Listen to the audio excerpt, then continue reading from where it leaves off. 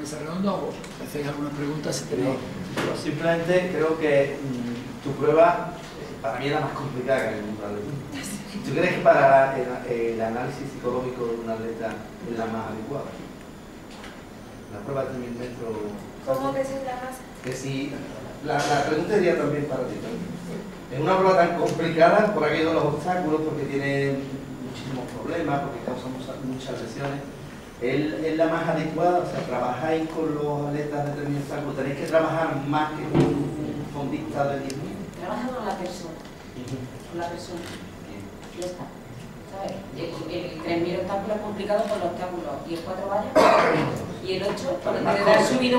No, no es cuestión de corto, es cuestión de la persona. Es que ella esté cómoda en la prueba que hace y que disfrute de la prueba que hace.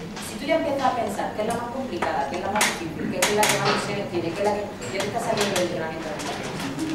A ver, yo, yo creo que, sí que es de las pruebas eh, más agresivas, del atletismo, y es verdad, eh, cada uno es verdad, como cada persona es un mundo, depende un poco de cómo te cómo la afrontes.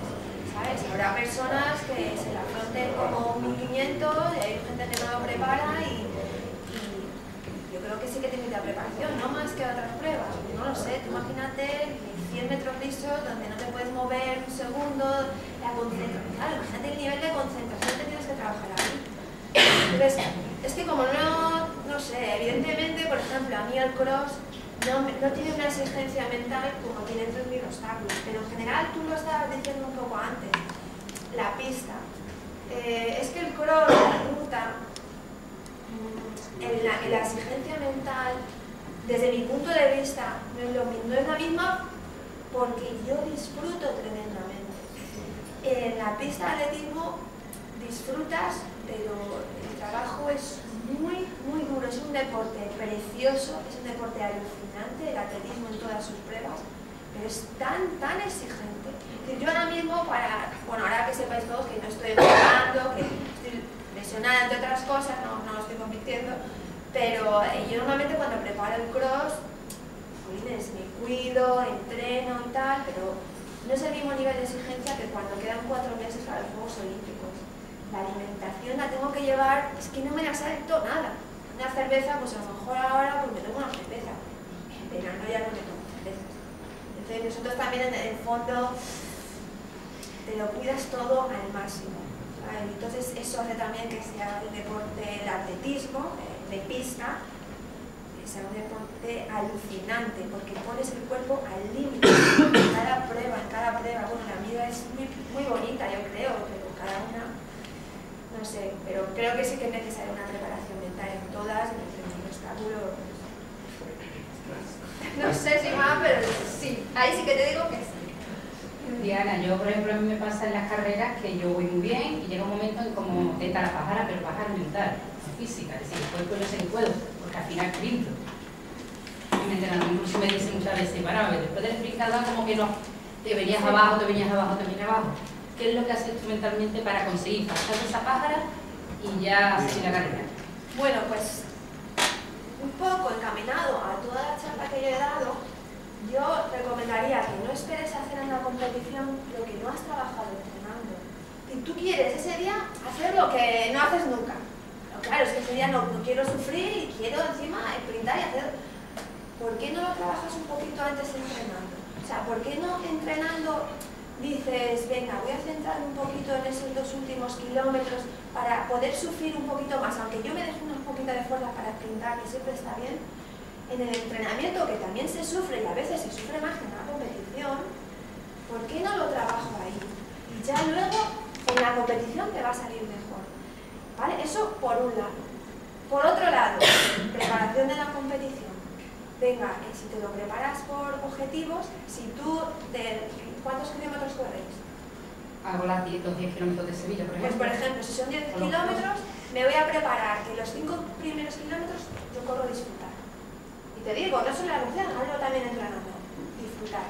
Del 5 al 8, bueno, hay que, hay que aguantar, pero el objetivo no es ir y morirme, es, venga, ir, sufrir, decirme aguantar, venga, no sé qué, y los dos últimos kilómetros a morir. Entonces, si tú eso ya lo estás trabajando antes y vas con ese concepto a la sabes. Es como si vas a un examen y casi sabes las preguntas del examen. Te vas a poner mucho menos nervioso que cuando no tienes ni idea de qué va a ir el examen. Entonces, pero eso, aparte de trabajar ese, eso, eso por objetivos, también hablo de los entrenamientos, porque en los entrenamientos dices, joder, voy a hacer cuatro 2000, pero lo voy a trabajar esos cuatro 2000 como quiero que me salgan la competición. Lo vas a entrenar. Vas tu mente. Se va acostumbrando. Ah, sí, es que estoy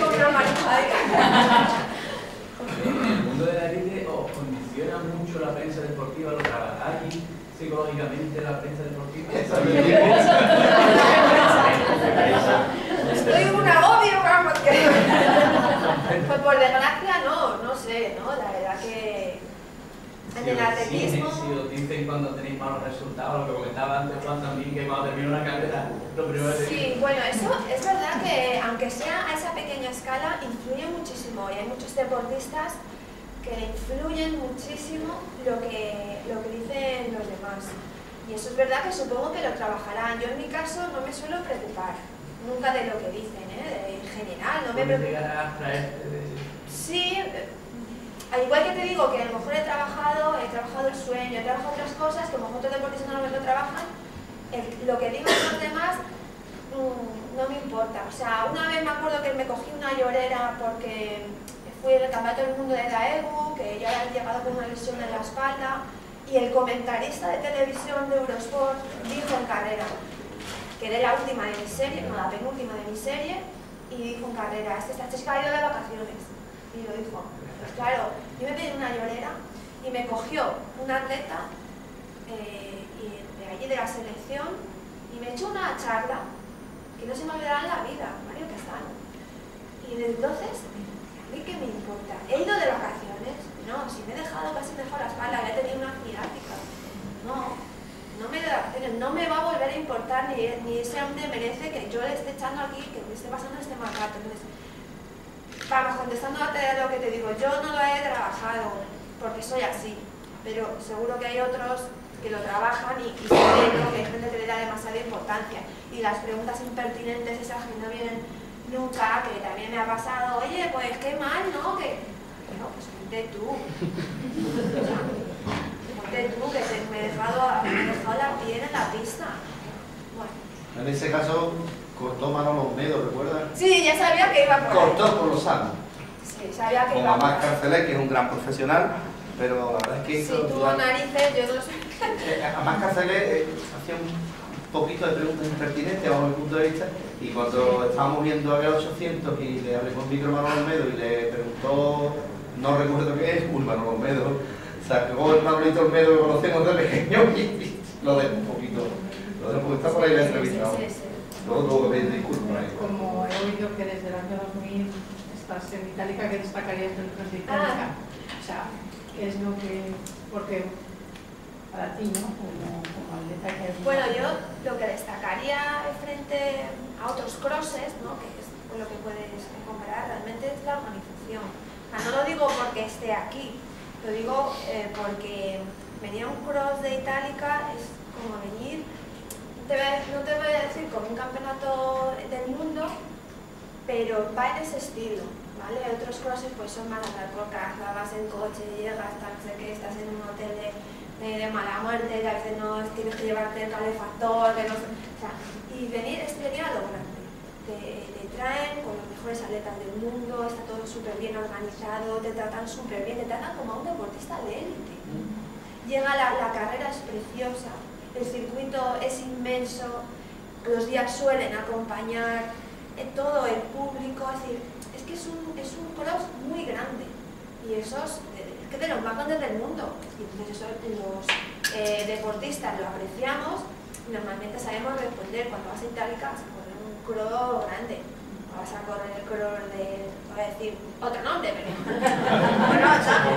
pero no es lo mismo, no lo preparas igual, menos importancia, pero aquí vienes con el gusanillo ese de, que es una carrera importante.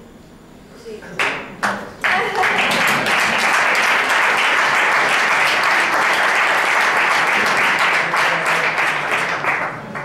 parece, pasamos a la mesa redonda.